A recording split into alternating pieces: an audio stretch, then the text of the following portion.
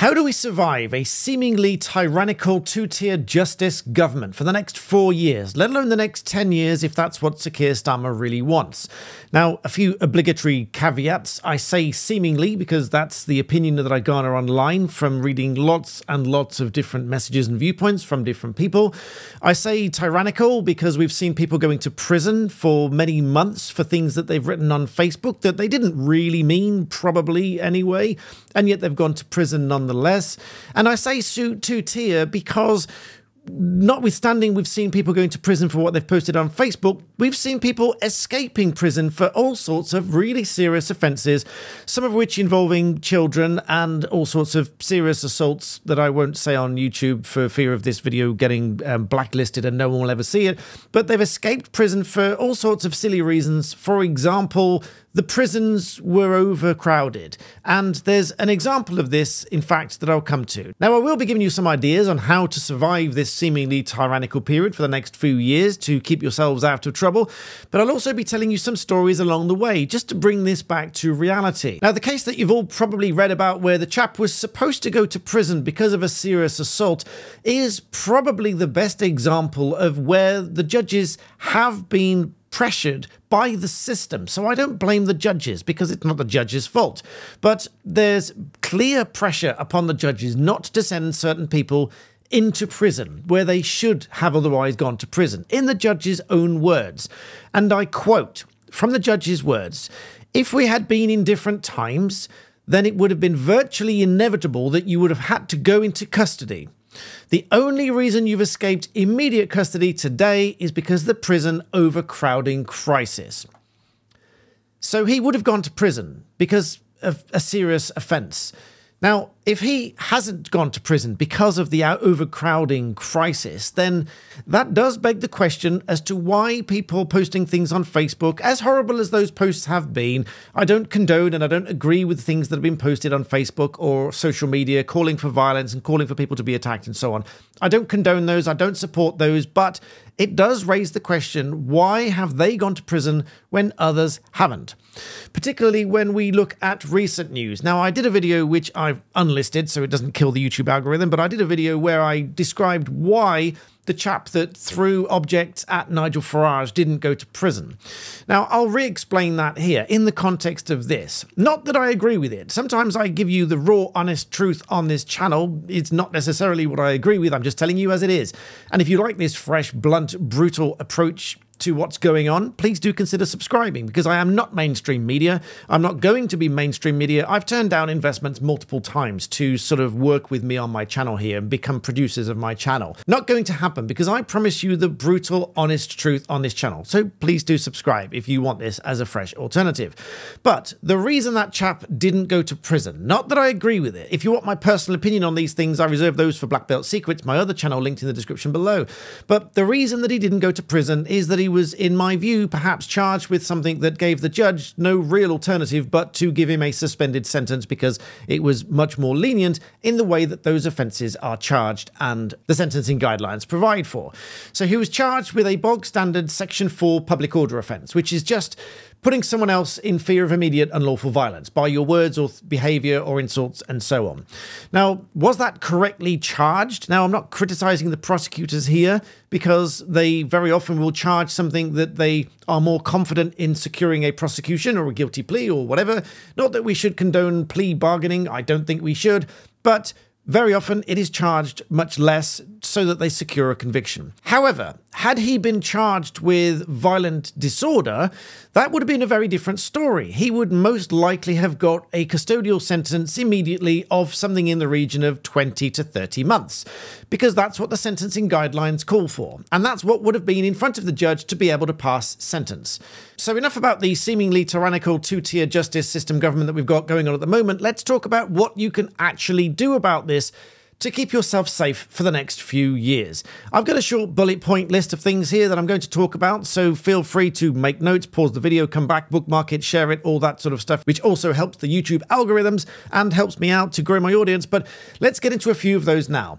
The first one will be really ironic. The first one is don't base any of your decisions and your, certainly life decisions and important decisions, don't base them on what you learn on YouTube.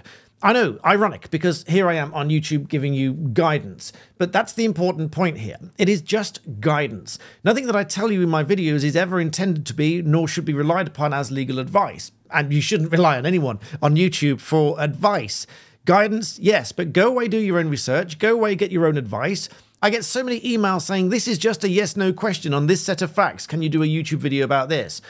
Now, no, I can't really. All I, all I can do is give you a broad overview and the guidance as to how things would normally apply in that situation. It can't be taken as legal advice, and you shouldn't be relying on anything you say on YouTube as legal advice or financial advice or anything else.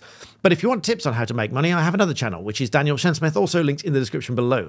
But just case in point, I've known of a few channels just recently, I'm not going to name and shame anybody, but a few channels have recently been demonetized because I believe they've had strikes for misinformation because they've been saying something as though it is absolute fact, as absolute truth, etc., which, in my view, could get people into serious trouble. I've commented on some of those before. Um, and I just believe that if people rely on those as advice and fact, and they get into trouble. That is why YouTube has these systems to demonetize channels that are making money off giving people misinformation.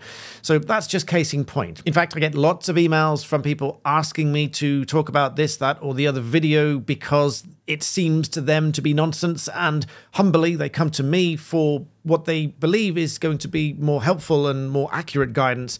And I'm not saying I'm always going to be right. I won't likely always be right, which is why you shouldn't rely on everything I say, but I would hope that it's more researched than most. Uh, I wouldn't bring something to you unless I was absolutely researched on it. So you always need to consider your own circumstances, your own set of facts, go off and get your own discreet advice on all of these things. But also, not just around you, but online as well. Because if you are online, there's all sorts of horrific stories now. There's one with Apple. I believe they dropped this uh, system where they were scanning your photos for things that perhaps shouldn't be there or that might flag some kind of alerts because they were planning to develop a system whereby they might report them to the police But I did read of such a story with another online provider that when a chap was asked by the doctor to send photographs of his son, to diagnose a problem in an intimate area. So he took these fairly high resolution photos and took sent them to the doctor to diagnose the problem. The doctor prescribed something and got rid of the problem, but a few days later, his whole account just disappeared. It was locked access, everything else. And not only that, he had the police coming around and asking him questions about what these photos were and why they were there. Obviously, it was all resolved. He just said, well, this was a conversation with the doctor. The doctor confirmed it, etc. But he didn't re regain access to his account. His access to his account, his whole account, emails, everything was completely locked down and blocked and seemingly no response. Now, I'm not naming who it was because I don't know how it ended, I don't know all the facts, and that's me being cautious because I don't know what the end tale of that story was. So if I tell you all that as fact and who it was, without the outcome, then that might be defamatory. So I'm not going to say who that was. But also, whilst you're online, there are also lots of other risks as well, such as visiting malicious websites, even malicious adverts, and malicious downloads and files, and all sorts of things. Not to mention people tracking what you're doing, for example, visiting certain websites and things like that, which is why I partner on my channel with NordVPN. I've been a partner with NordVPN for quite some time now. I use it myself. I paid for it with my own money even before I partnered with NordVPN. And NordVPN will give you that peace of mind knowing that there are no logs of any websites you visit, any of your downloads, your browsing history, etc. They've been independently audited a number of times to show that they do really keep zero logs of your activity online. Now, of course, none of you watching are planning to visit a dangerous or malicious website, but we have had people come to us that have had their identities stolen, they've had their accounts taken over because they visited a malicious website, and NordVPN will flag up those sites or downloads as you come across them. Of course, as a partner to my channel, I can get you four months extra free with the link in the description below. In fact, if you see at the top there, it says your status is protected. If you go to this website, which is nordvpn.com slash BBB, because that's the the nickname you gave me, and that wasn't intended to rhyme, but if you go to that website, it will show you that you are not protected. It will show you your IP address and your location, which shows you just how easy it is for these companies to find out this information about you. In fact, quite some time ago, when I was browsing the internet without NordVPN, I was shopping for office furniture. A few days later, I got an email to me, my wife, and my clerk to say that they knew because of their software that I'd be shopping for office furniture. And they'd got all of our email addresses, which means their software had taken the IP address and other search information whilst we were browsing online they tracked us down, found us out, and started emailing me and my wife and my staff. But you can cut all of that out and maintain your privacy online using NordVPN, which is one thing that I highly recommend you do in this very dangerous time moving forward to protect what you're doing online. So check out the link in the description below and grab yourselves four months extra free. You get 30 days to change your mind, but the peace of mind is well worth it. Now, a few horror stories here. I've had a few cases come to the firm in the last few years which have really heightened the concerns that I have on certain things. So I will give you these as a broad guidance so you can think about them moving forward. Probably things that you've never even thought of before. Now, the first one is being careful as to who you invite into your home. Now, there's a few stories about this. One person had a few antique firearms in his home. They were perfectly legal, there was nothing wrong with them at all. He had someone come in to do some work around the house and reported him to the police. So, before you know, he's got the firearms squad at his house, raiding his house to take these things away. And long story short, they worked out that they were antiques, they were perfectly legal, and there was nothing wrong, but not before putting him through weeks and weeks of misery. The next story, in my view, is rather evil. There was a plumber went to a house to do some work on the boiler and the heating system of this house. Little did he know that the person in the house had collaborated with the person opposite for whatever reason to get this plumber into trouble. The person in the house suggested that the person opposite also wanted work doing on their system, and duly he went over to examine and do a little bit of work on their system. The person in that house tipped them some money, and off they went.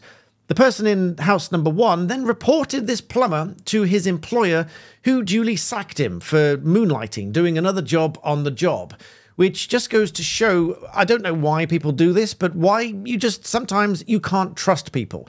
So always take this air of caution about every little thing that you do. If you're out doing jobs for a company, just don't do anything outside of your company's rules and things like that. Now, this guy was just being helpful and was just given a tip for helping someone out, which proves that good old saying, no good deed goes unpunished. Another good tip of being very careful is when you are out and about in the street, being mindful of who is around you, who is in front of you, who's behind you. Now, I'm not victim blaming here, but if you walk around with your phone in your hand like this, you are advertising here is a £200 or £1,000 or £1,500 piece of equipment that you can take off me very easily because my attention's focused on it and someone can yank it out of your hand. Now, I'm not victim blaming. This is just a sad fact of reality that if you are walking around like that, people can take it off you very easily. Just like if you, again, with the helping someone out scenario of in someone's house, this applies in the street as well. A horrific story, video actually, that I saw online just uh, a couple of days ago. Someone was out and there was one person was on the floor looking like they'd collapsed and in trouble. There was another person standing next to them. So Good Samaritan went up to the person on the floor and tried to help them out. The second person actually walked behind this person and injected them with something to knock them out and then mugged them of all their possessions.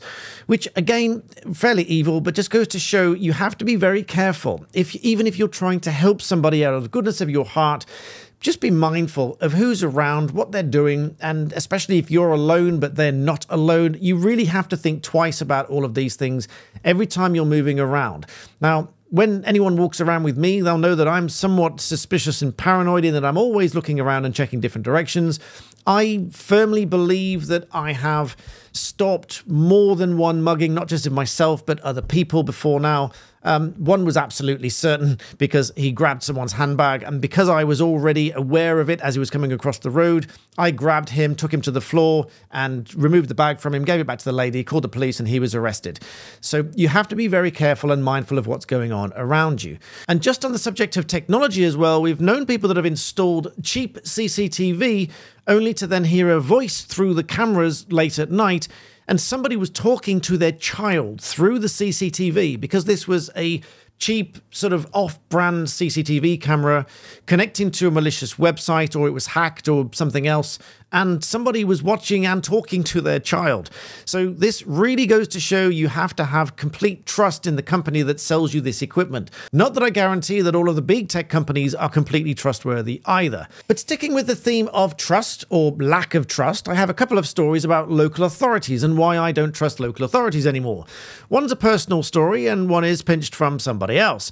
One of my own story is that whilst on the one hand there is no obligation to inform a local authority when someone moves in or out of a property via the council tax, unless they ask you the question, of course. If they ask you whether there's any change or if they ask you who is there for the purposes of council tax, then you have to tell them because you can't be dishonest.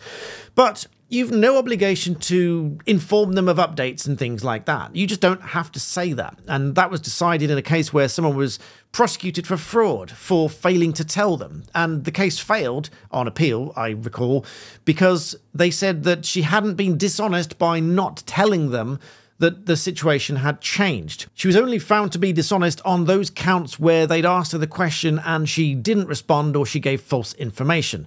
But on the counts where she just didn't tell them, that was perfectly fine because there was no obligation for her to do so. Now, despite that, we did tell the local authority that there'd been a change and the local authority officers told us that they froze the council tax on this property because it was empty and vacant and being refurbished and it was not inhabitable at that time. And so they appeared to have some kind of consideration for us and said that they'd frozen the council tax on the property until we got it refurbished so that we could let it out again. But lo and behold, later, when it was ready to let again, they then said, no, that was wrong. The lady that spoke to us said, I don't care what the other people said. They shouldn't have told you that. It's due, you've got to pay it, and here's a bill for it. Now, you can understand why I was a little bit annoyed here, because not only had they told us that council tax was frozen on the property, but there was no obligation for us to tell them in the first place, and we were just being completely upfront and honest even though there was no legal obligation to do so. So, again, take formal advice if you're in a situation where you're wondering whether you're in a position that you have to tell them a certain thing. Because if you don't have to tell them, and certainly going forward, if I don't have to tell them, I'm not going to tell them because they just don't have any consideration whatsoever, even though you've done the right thing and told them the right thing, which again comes back to my earlier point. No good deed goes unpunished. So if you don't have to tell them, keep it to yourself. I hate to have to say that as guidance, you understand, but that's just the way we are because they had no consideration whatsoever. They didn't care about the situation. They even went back on what they'd originally said. So, which in my view is disingenuous, possibly challengeable in the courts, but it's a lot of time and effort. And ultimately, all they'll do is say that this is the law, they're following the law, and they are allowed to bill us the council tax and make that decision. And so, even though we might go around in circles, maybe win, maybe not, but by the time we've done all that, it's time, effort, expense, stress, etc. It's just not worth the couple of months worth of council tax to go through all of that to argue over it. And to top it off, they even recorded the calls and then refused to give us the copy of the call recording without going through hoops of to prove who we are and all of this sort of stuff, even though they'd been corresponding with us anyway. So that just goes to irony, really, because if they'd been corresponding with us in the first place, then that would have been our personal data. And if they didn't know who we are, it would have been a breach of personal data and data protection.